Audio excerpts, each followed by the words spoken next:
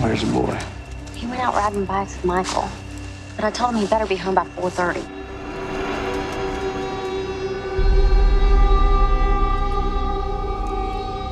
I don't see the boy nowhere.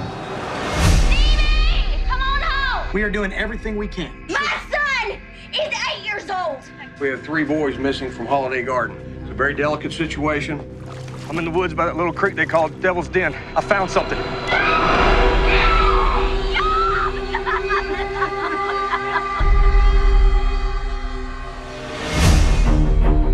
Damien Echols, Jason Baldwin, and Jessie Misskelley will be charged in the murders of the three boys we found last month in the Robin Hood Woods.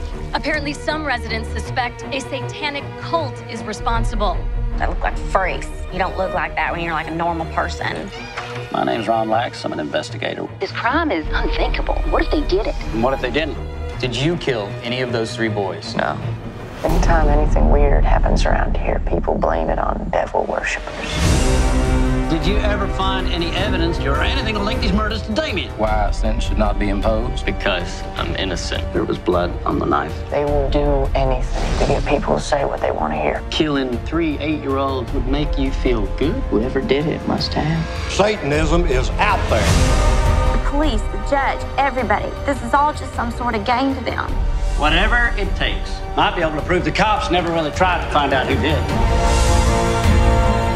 Would you want three more families to lose their children to? I don't know anymore.